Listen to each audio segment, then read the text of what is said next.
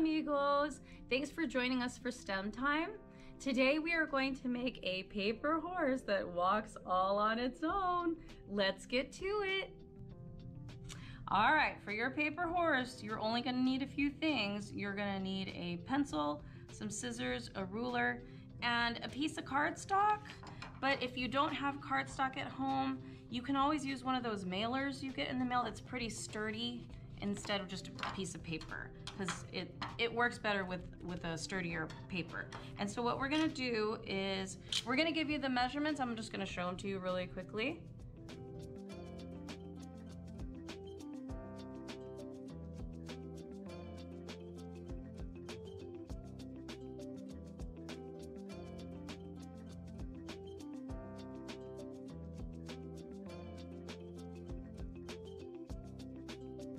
And we're gonna use centimeters. So we're gonna use the edge of the paper and we're gonna measure 15 centimeters across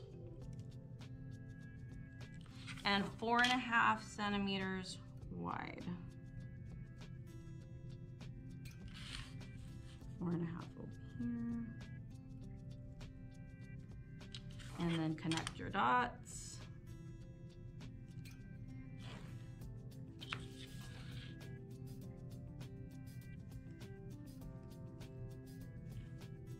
And then we're gonna make marks at the five centimeter, every five centimeters. So at the five and the 10.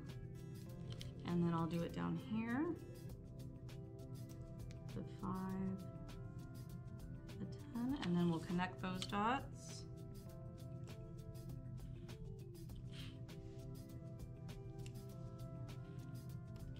So the middle square is gonna be your body, and then we need to make the, the legs and the head and the tail. So over here on that four and a half wide side, you're gonna make marks every one and a half centimeters. So one and a half, three, and then, oh, let's do it right here. One and a half, three,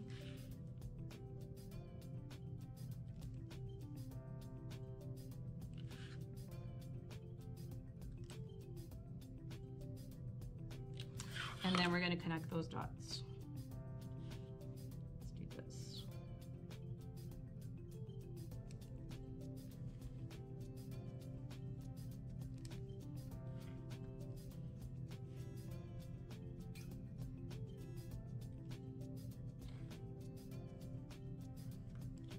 Okay, so I didn't make lines in the middle because that's gonna be the body.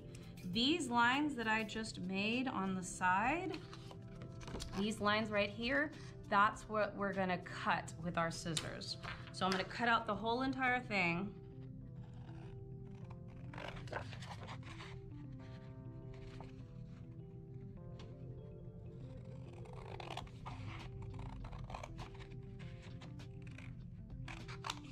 And then we're just gonna cut, cut up this line and we're gonna stop right there.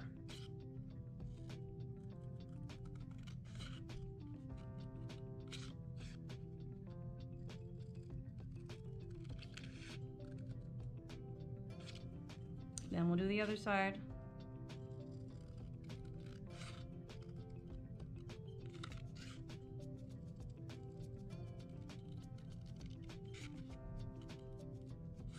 Okay, so we've got, these are gonna be our legs. This is gonna be the head, so we can fold that back. And we can fold this one back. If you wanna be really precise with your, your measurements, you can fold along, or your bent, your fold, I should say, you can fold along the ruler. So we've got that bend there, and then we can fold along the ruler right there. Okay, so you can kind of see there's the, the body taking shape. And then it, we wanna um, make sure that our head and our tail are balanced. So I'm gonna get my pencil, and it's kind of like when you curl ribbons, you're just gonna do that and your, your tail will curl up. There you go. And then for the head, I like to uh, fold it kind of halfway. So you fold it halfway and then you're gonna curl this up, kind kind of like that. And then you just kind of stick it out. And there's your, there's your head.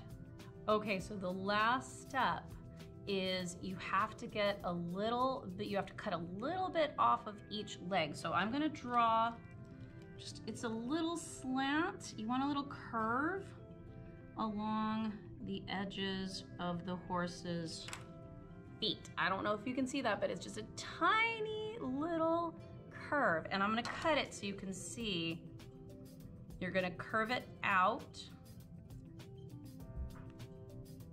Just a tiny little arch. If you can see, it's kind of curved, a little bit curved, okay, on each end. And then you're gonna do the same thing for the front legs. Curve it out. Draw little lines, go ahead and do that. And then we're just gonna cut that little bit off.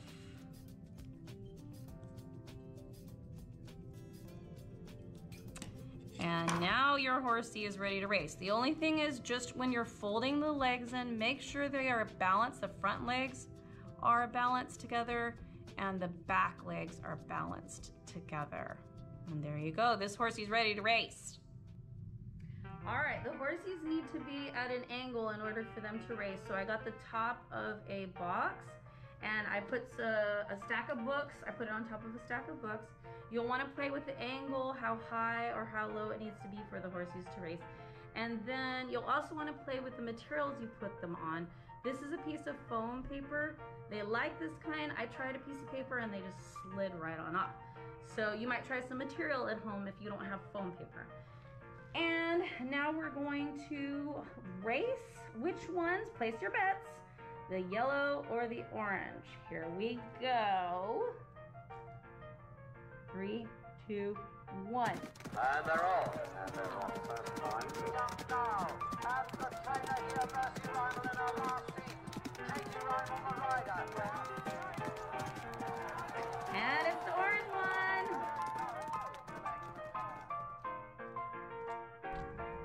I hope you had fun making your paper horse. To experiment further, try using different style ramps or place your ramp at different angles. You could even make several horses and place your bets on which would go the fastest. Please comment below on what happened during your experiments. Thanks for joining us. Bye!